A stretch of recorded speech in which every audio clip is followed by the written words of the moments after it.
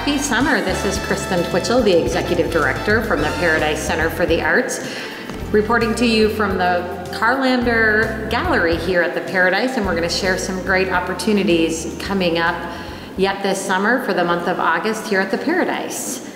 We've got the big one happening, which is right here on our poster. It's our annual Blue Collar Barbecue Music and Arts Fest, and that happens every summer on the second Saturday of the month. This year, that is Saturday, August 10th, 11 a.m. to 11 p.m. So I'm gonna have Katie just share a little bit about who's in our gallery, and we're gonna talk about who's coming up in this awesome space. Hi, I'm Katie Schauman. I'm the Community Engagement Coordinator here at the Paradise. Behind me you can see this lovely piece. This is a lovely piece by Lisa Truax. She is from Winona, Minnesota. And we also have Jillian Steger. She is a local jewelry artist here in Faribault, uh, displayed in this gallery along with her. So we've got obviously these great displays going up through August 12th, and then in the Lois Branish gallery, we have our members show going on right now, and that is Out of the Box, which actually was Katie's idea. You want to tell us a little bit about that idea? So, Out of the Box, I wanted to challenge our members to do something that isn't their traditional medium. So, if you're a painter, maybe try doing pottery, or if you are a potter, maybe try doing some sewing or crocheting. So, it's really cool to see all of our members trying something different.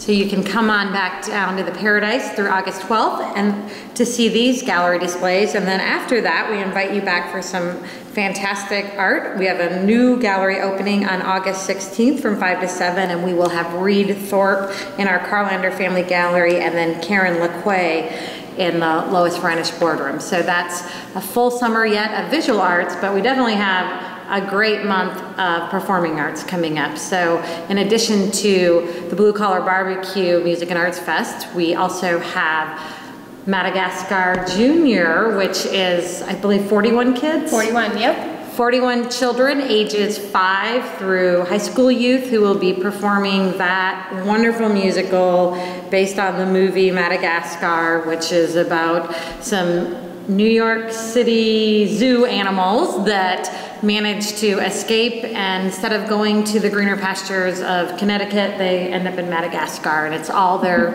adventures. And although it's kids performing, it's a great show for anybody to come out and see and super affordable, only $4 for kids and $8 for adults and we have a family four pack so if you want to bring a group you can do that. But those shows will be performed August 16th at 7 p.m., August 17th at 7 p.m., and then we have a 1 p.m. matinee on Saturday, August 17th. And so the kids are doing a three-week theater camp and then putting that on our stage. So we definitely want to have you come down and support those young actors. It's, I know a lot of our community theater folks with Paradise Community Theater got their stages, got their start on the stage as little kids, and so it's really fun. Yeah. To have them here. And then we have Garrison Keillor coming back. For those folks who were here and knew about February, it got a little bit nasty. It was gross. In February around these parts, and we had a Garrison Keillor show the show went on despite a blizzard, but he offered to come back for those people that couldn't make it and weren't in town. So this is sponsored by Hello Booking. They're renting out our space and it's an evening with Garrison Keillor and then it features Rich Dworkowski on piano and he was his longtime pianist on Prairie Home Companion. So for friends of Garrison Keillor and those who love Prairie Home Companion, it's an evening of storytelling, songs, news from Lake Wobegon, and just that kind of fun camaraderie that a Prairie Home Companion gave here live on the Paradise stage. That's Saturday, August 24th. So that ends out the month. And then just to save the date is our Paradise Community Theater is presenting one of my favorite musicals, which is Disney's Newsies. And that comes in mid-September. But now I want us to talk a little bit more about the Blue Collar Barbecue, because that's really the main event for the summer. So we've been working hard. Katie, what yeah. are some of the stuff you've been doing to get ready? Um, well, I primarily have been working on promoting, promoting, promoting, making sure that everybody knows about the Blue Collar Barbecue Music and Arts Festival. So make sure you're here in downtown Faribault. We will have uh, Central Avenue Blocked off for 12 hours of music and fun. Um, we've got bouncy houses for kids and face painting. We've also got a free family activity that you can do right outside of the Paradise. There will be a beanbag tournament and a barbecue contest, food trucks, food vendors, market vendors, um, pretty much anything you want in a music festival we have.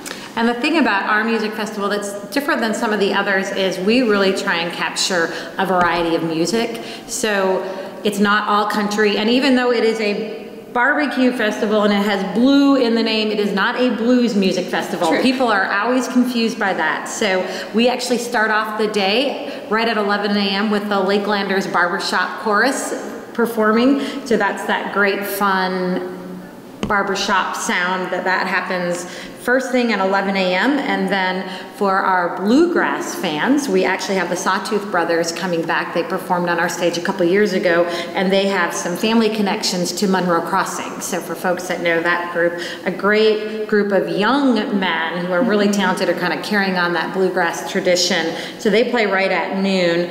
And then for folks who may have remembered our Grand Old Opry shows here at the Paradise that sold out, a smaller group of those performers are a group called Greasy Biscuits, and they're doing that same kind of Grand old Opry music at 11, 15 p.m. So that old school traditional country, but they have a powerhouse female vocalist who just, I remember hearing, and she just gave me chills. I still think about her. 115. 115, so I got that time wrong. And then we have, wouldn't be a music festival this summer without remembering the anniversary of Woodstock. So we have a nod to that at 3 p.m. with Sawyer's Dream, which is a 70s band who has a Woodstock sound and look, but they actually do original music primarily, so that's a lot of fun.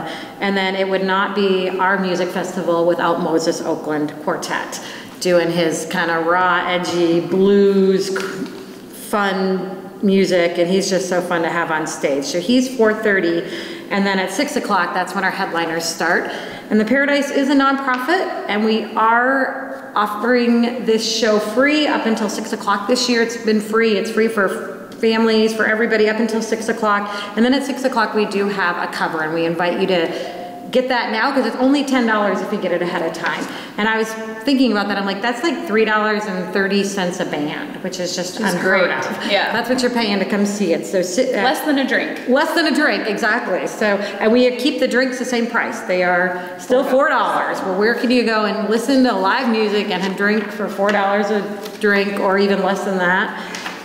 and hear amazing music. So we have the award-winning blues artist PK Mayo, who will be on our stage. And then one of our really big headliners, everybody pretty much in Minnesota should know, and if you don't know, you should come hear him, and that's Martin Zellar and the Hardways, which I like to say is just Gear Daddy's light. It's essentially Yeah. the Gear Daddies with, I think they're missing one guy. So doing all the iconic Martin Zellar songs, as well as some new stuff that he's working on an album and They usually throw in a couple good covers Yes, too. and then, and then some great covers. And then we have Street Talk at 9 p.m., kind of ending out with the street dance, and that has some local folks. Certainly, we want to give a shout out to CNS Vending, who's our block party sponsor, and Scott is actually part of that group. So it's really wanted to feature a, a great mix of Minnesota artists. These are all from Minnesota, and then obviously having some local folks on our stage as well. We're kind of starting the day with the Lakelanders who are local, and then ending the day with Street Talk who have local ties, and just celebrating the talent. Plus, I believe we're well over 20 market vendors, mm-hmm. the food trucks, and then we also have the family and cultural stage, which is its second year this year, and we have the internationally known Teddy Bear Band kicking it off. So that's a great family group. We have the Aztec dancers coming back. We have spontaneous productions, the comedy and improv. We've got some storytelling on that stage. So it's going to be a great all-day event. Come on down. Get your tickets now. They're just $10. Paradise Center for the Arts.org. Save some money instead of having to buy the ticket at the door. And then remember, it is free from 11 a.m. to 6 p.m.